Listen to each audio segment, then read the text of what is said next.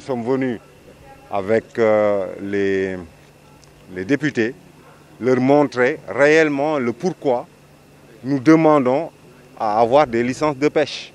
Parce qu'on ne peut pas faire un investissement aussi grand cela que, ce, que celui-ci et ne le faire travailler que deux mois sur douze dans l'année.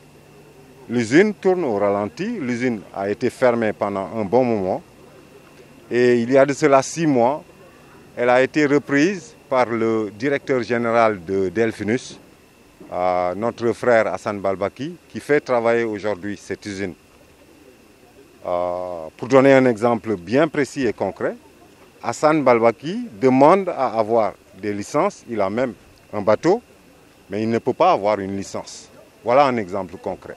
Et aujourd'hui, dans cette usine travaillent plus de 700 personnes et elle est obligée par moment de fermer. Vous voyez, là, ils sont en train de débarquer du produit qui est venu de Rufisque, parce qu'en vérité, nous avons une bonne collaboration avec la, pêche artisanale. Il faut que les Sénégalais comprennent que les bateaux chinois, ce qu'on leur présente comme étant des bateaux chinois, n'est qu'une caricature, n'est qu'une façon de faire peur à la population pour nous empêcher, nous, de travailler déjà et de faire travailler nos industriels.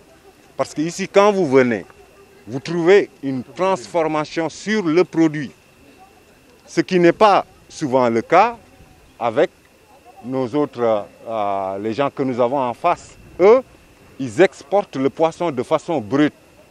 Il n'y a aucune transformation, il n'y a pas de mise en valeur du, du produit. Nous, ce que nous tentons, c'est de donner aux produits sénégalais de la valeur ajoutée, de faire travailler des Sénégalais sur ces produits.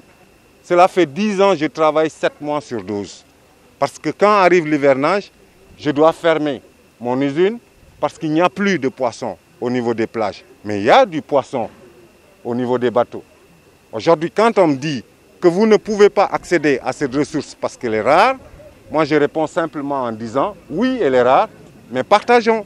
Et non maintenir un monopole qui ne dit pas son nom, que le GAIPES exerce sur cette ressource depuis 40 ans.